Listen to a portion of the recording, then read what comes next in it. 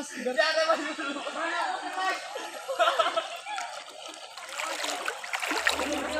Iya.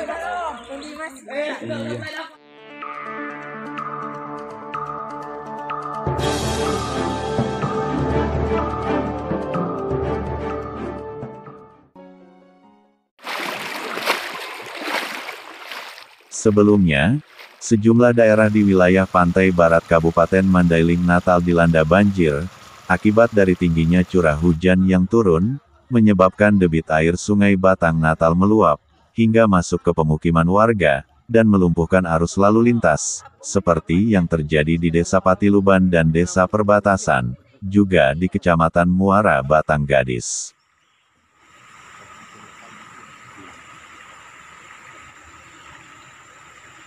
Menurut penuturan dari warga, kondisi seperti ini sudah sering terjadi, bahkan sudah musiman, oleh karena itu mereka berharap agar ada solusi dari instansi terkait, terutama jika masuk musim penghujan seperti sekarang ini, menurut mereka posisi sungai sudah sejajar dengan pemukiman warga.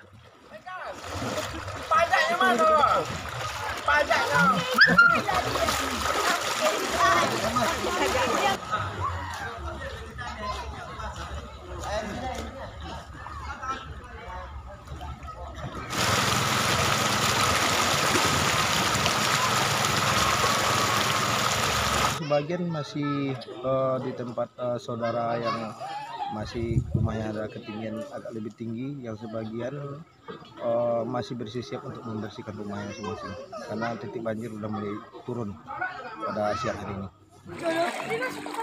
Dilaporkan sebagian warga sempat mengungsi akibat tingginya luapan sungai yang masuk ke pemukiman, bahkan di beberapa wilayah ketinggian air mencapai 100 cm.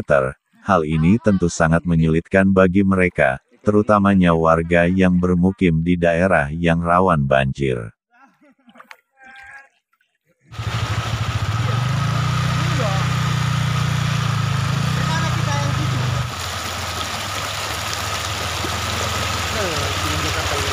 Berikut ini daftar dari beberapa kecamatan dan sejumlah desa yang terendam banjir, Desa Bintungan Bejangkar, Banjar Aur, Air Apa dan Banjar Aur Utara, di Kecamatan Sinunukan, Desa Patiluban Hilir, Desa Perbatasan, Patiluban Mudik, Bonda Kase, di Kecamatan Natal, dan Desa Pulau Padang di Linggabayu. Menyelamatkan manusianya bukan?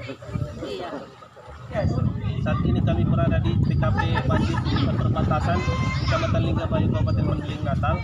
Dapat kami laporkan bahwa luapan air sungai Batang Natal saat ini menggenangi beberapa titik di desa perbatasan.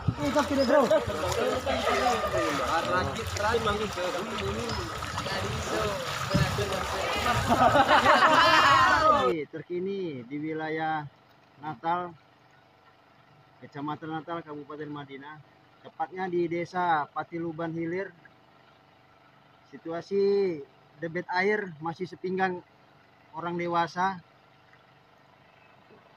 Lanjut, masyarakat sudah mengungsi di tempat-tempat yang tinggi, termasuk di jembatan. Seluruhnya negatif ada korban jiwa. Masih kita pantau lagi komandan. Saya bersama personil Polsek Natal, Aibtu J Butar-Butar dan Aibda Prayitno masih memantau situasi. Demikian dilaporkan situasi terkini. Manakala ada perkembangan kita lanjutkan untuk membuat report lagi kemudian.